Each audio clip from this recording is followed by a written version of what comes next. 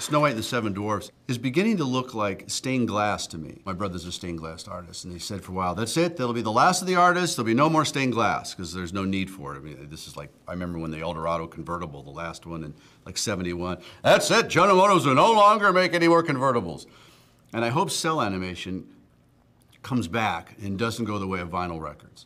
And I say that because you start getting more computerized and you see uh, Texas Instruments, I believe the, the Toy Story 2 is high def. The first example of that in the uh, Toy Story 3, if, if, if we do it, will be even clearer and sharper. It's beginning to look like something else entirely. Whereas Snow White and the Seven Dwarfs has that wonderful, fluid, human touch that only cell animation could get. And I, and I know there's a move within Disney Animation and Pixar and Disney Digital to maybe marry these technologies. There's something, there's something wonderful about cell animation because human beings actually did the work.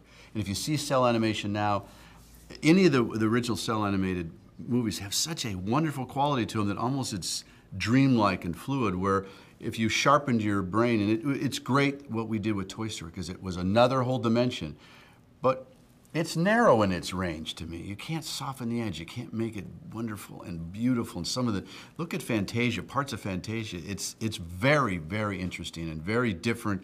And I don't think they I don't think we we don't we we took that as far as it can go.